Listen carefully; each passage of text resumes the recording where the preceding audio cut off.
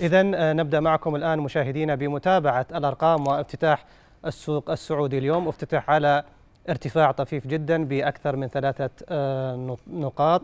كان قبل ذلك مزاد الافتتاح أعطيت أرقام جيدة العرض والطلب ما قبل الافتتاح تسمى هذه النصف ساعة بمزاد الافتتاح. تعلن فيها فقط وتعرض الأرقام ومن ثم بعد الافتتاح بتقريبا 30 ثانية يتم تنفيذ هذه الأوامر. تابعنا آه، الافتتاح يعتبر جيد إلى حد ما طالما هو فوق الثمانية آلاف وتسعمائة نقطة خصوصا أحجام التداولات يوم أمس التي فاقت أو وصلت إلى عشرة مليارات كانت جيدة بحد ذاتها خصوصا أنها لم تأتي إلى هذه الأحجام منذ فترة كانت في بداية الأسبوع والأسبوع الماضي تحوم ما بين الثمانية إلى التسعة مليارات آه، ريال. خصوصا أننا تابعنا آه، يوم أمس قبل ساعة من الإغلاق. تابعنا ارتداد آه، حاد نوعا ما وصل إلى 80 نقطة انخفاض ومن ثم الارتفاع ب 50 نقطة. كان ارتفاع جيد.